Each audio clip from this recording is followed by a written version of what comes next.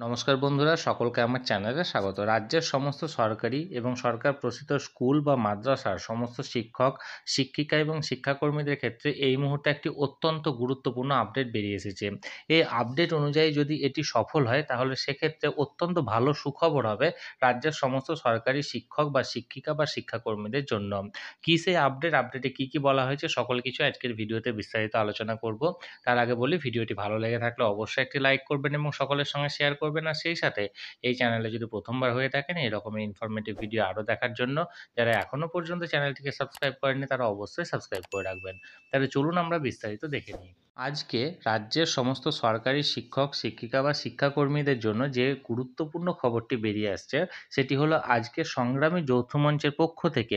রাজ্যের সকল government sponsor বা গভর্নমেন্ট এডেড বা স্কুল এবং মাদ্রাসার সমস্ত ধরনের শিক্ষক, শিক্ষিকা এবং শিক্ষাকর্মীদেরকে সরকারি কর্মচারীদের মতো সরকারি হেলথ স্কিম বা ওয়েস্ট বেঙ্গল হেলথ স্কিম অর্থাৎ ডাব্লিউবিএইচএস এর যে সুবিধা, সেটি প্রদান করার দাবিতে নবান্ন ও বিকাশ ভবনে মুখ্যমন্ত্রী, শিক্ষামন্ত্রী সহ শীর্ষ পদাধিকারীকে ডেপুটেশন দেওয়া হবে। অর্থাৎ ডব্লিউবিএইচএস যে স্কিমটি, অর্থাৎ ওয়েস্ট বেঙ্গল হেলথ স্কিম এই স্কিমে এখনও পর্যন্ত রাজ্যের সমস্ত ধরনের সরকারি কর্মীরা আওতাভুক্ত ছিলেন এবং কিছুদিন আগে রাজ্যের সমস্ত পঞ্চায়েত যে সমস্ত কর্মীরা ছিলেন, অর্থাৎ প্রায় পঞ্চাশ হাজার মতো পঞ্চায়েত স্টাফকে এই ডাব্লিউবিএইচএস স্কিমের আওতাভুক্ত করা হয়েছে। এই ডাব্লিউবিএইচএস স্কিমের ফলে একজন সরকারি কর্মী ও তার পরিবার বাৎসরিক প্রায় দেড় লক্ষ টাকা পর্যন্ত ক্যাশলেস ট্রিটমেন্টের সুবিধা পাবে বিভিন্ন সরকারি হসপিটাল বা বিভিন্ন প্রাইভেট হসপিটালে। অর্থাৎ দেড় লক্ষ টাকা পর্যন্ত ফ্রি ট্রিটমেন্টের সুবিধা পাবে এবং দেড় লক্ষ টাকার বেশি যদি হয়ে থাকে বিল সেক্ষেত্রে সেই বাকি টাকাটা তখন সেই সরকারি কর্মচারীকে প্রদান করতে হবে। এবং এক্ষেত্রে যে মেডিকেল অ্যালাউন্সটা পাচ্ছে, সেই মেডিকেল অ্যালাউন্সও কিন্তু কাটার কোনো সম্ভাবনা থাকে না। অর্থাৎ পাঁচশো টাকা করে মেডিকেল অ্যালাউন্সও কিন্তু যথারীতি পাবে এবং তার সাথে সাথে এই ফ্রি ক্যাশলেস ট্রিটমেন্টটাও কিন্তু পাওয়া যাবে।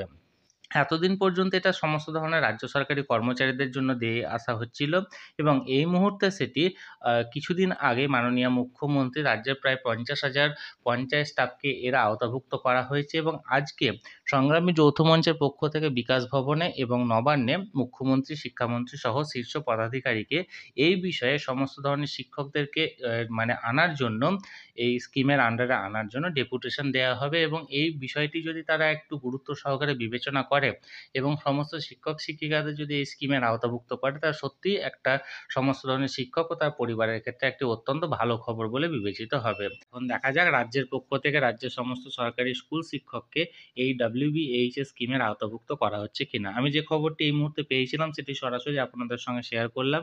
এই নিয়ে আপনাদের মূল্যবান মতামত কমেন্ট করে অবশ্যই জানাতে ভুলবেন না। আর ভিডিওটি ভালো লেগে থাকলে অবশ্যই একটি লাইক করুন এবং সকলের সঙ্গে শেয়ার করুন। আর সেই সাথে এই চ্যানেলে প্রথমবার হলে এই রকমের গুরুত্বপূর্ণ আপডেট সবার প্রথমে জানার জন্য। যারা এখনও পর্যন্ত চ্যানেলটিকে সাবস্ক্রাইব করেনি তারা অবশ্যই সাবস্ক্রাইব করে রাখুন। ধন্যবাদ, দেখা হচ্ছে পরের ভিডিওতে।